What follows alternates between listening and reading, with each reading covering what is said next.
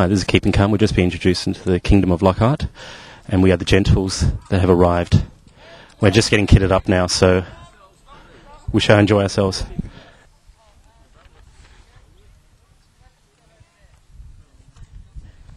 I'm Jake. How are you? Is there a shake? Of- This is my suit of armour. Um, it, I basically use it to protect myself from blows from axes, swords, maces, spears. Do you? So I've noticed you've got a bit of scarring here. Is that from? Scarring? Okay, you've got a bit of a scar there. Is that from an axe? No, no, not at all. Not at all. A natural thing which has occurred.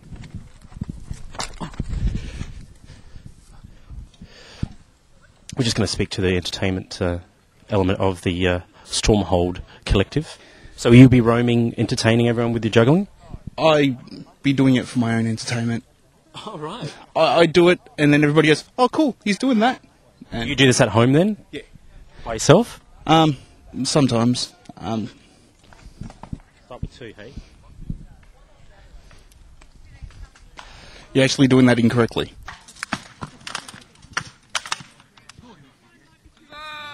That is uh, the newly appointed Baron and Baroness of Stormhold, which is uh, central, northern, and western Melbourne. That's a small boy next to him. Welcome. I am Rodrigo, Baron of Stormhold.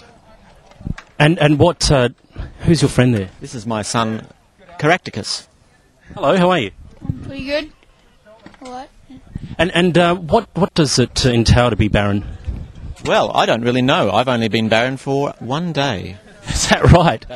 Could I wear the hat then, if it's a one day thing? No, it actually goes forever now.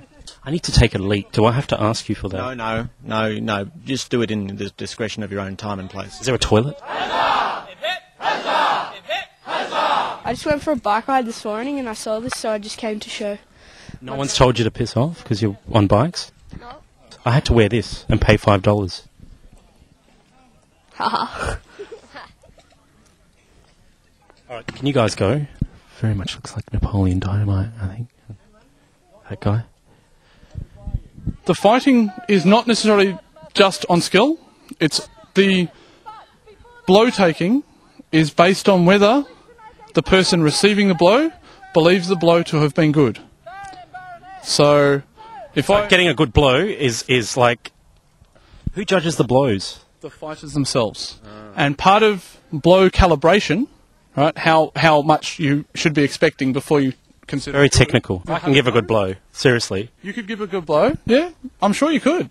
But there are tricks and skills to doing it in such a way that you are economical. Yes.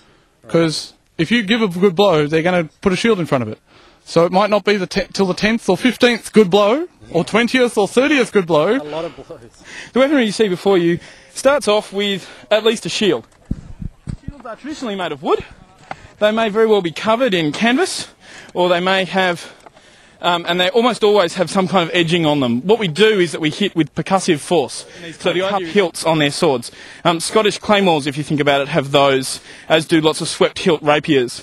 Um, we use them because hands are very valuable. Lots of us work in very complex industries like dueling or education or computer entry and IT and all cleanly. What we don't want, if you think about breaking a piece of wood in half, has jagged edges. We don't want that because that can do damage. So it either needs to snap cleanly or go to mush, which is what rattan does. We take the black here. This has a thrusting tip on it. Obviously, It's a doorknob stopper. it is a doorknob stopper.